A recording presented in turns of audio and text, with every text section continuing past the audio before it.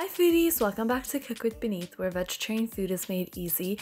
Today we'll be making freak shakes, which are basically milkshakes gone crazy. This idea first started in a cafe in Australia. The entire world just took a liking to this, especially people with the sweet tooth. So if you would like to follow along, please continue watching. For this recipe, you'll need melted chocolate. I'm using white chocolate and milk chocolate, any type of sprinkles,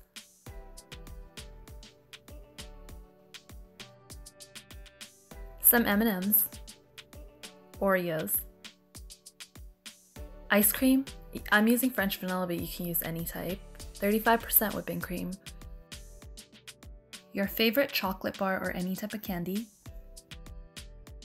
A jar. And any type of milk.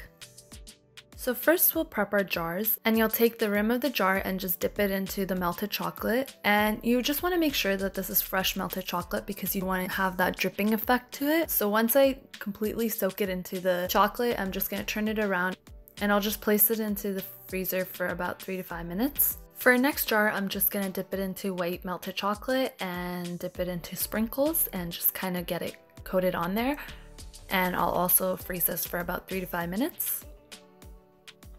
Our next jar, um, I'm gonna dip it into milk chocolate and you'll notice that it's, a, it's not dripping as fast just because I let it cool down for a little bit. And then I just dipped it into chocolate sprinkles and I'll let that freeze for about three to five minutes. And our last jar, I'm dipping it into white chocolate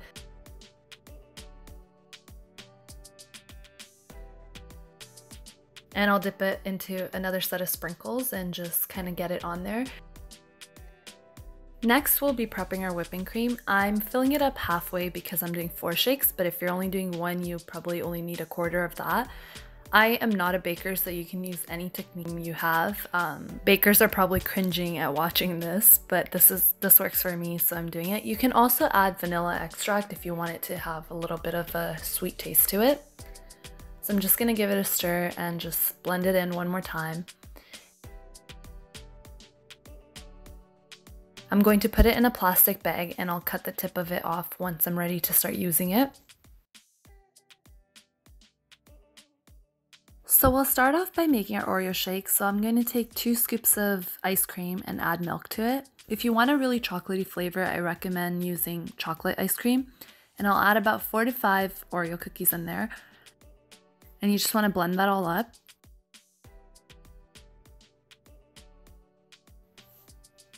And you want to pour it into your jar.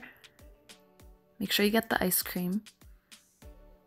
And I just placed it into the freezer for about three to five minutes just because I wanted it to be a little bit colder.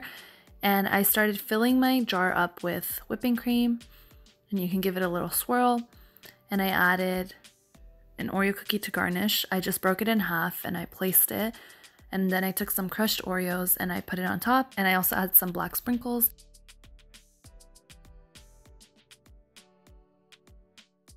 And your shake is ready to drink. Next, we'll be making the M&M shake. I added three scoops of ice cream, milk, and my cup of M&Ms. And you want to blend it until you don't see the M&Ms just because when you are drinking it you don't want to swallow a whole M&M. And then you'll pour it into the jar and just make sure you get all the M&Ms from the bottom of the jar. I also froze this one for about 3 to 5 minutes and then I just gave it a quick stir before adding the whipped cream.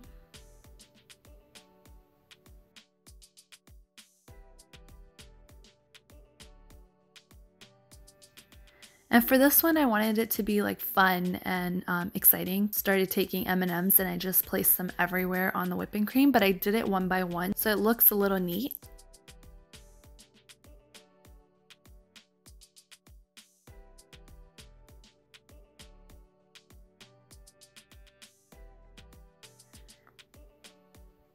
And then I added my straw before adding the rest of the M&Ms because you don't want them to fall afterwards. And before serving, I'm just to place it into the freezer for about 3 to 5 minutes just so the M&Ms really stick onto the whipping cream.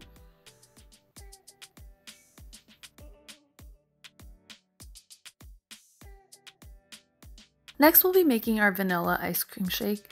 Um, so I'm just adding three scoops of ice cream now, and then I added milk. And then I felt like it wasn't enough ice cream, so I just added one more scoop. And you just want to blend that all up. This is a perfect shake for someone who doesn't like a lot of chocolate, so it's just a simple vanilla shake.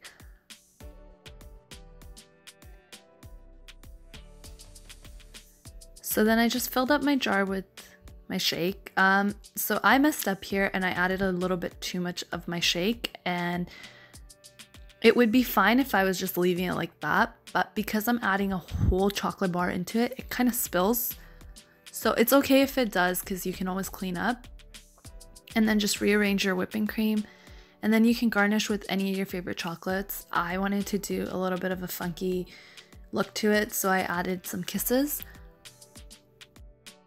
And you'll also want to freeze this before you serve it, just because you don't want the kisses to fall off the whipping cream. So I left it into, in the freezer for about two to three minutes. And lastly, we'll be making our Kit Kat shake. So I added three scoops of ice cream, milk, and a whole bar of Kit Kat. And then you'll just blend it up.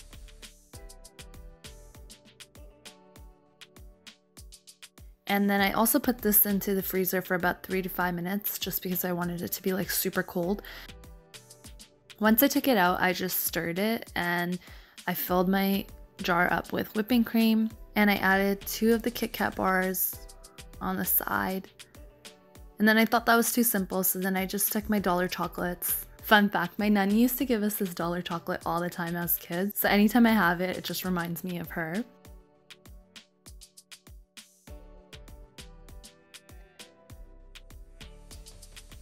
Our freak shakes are ready to drink, so if you follow this recipe or if you would like a part 2 on this, please let me know in the comment section below.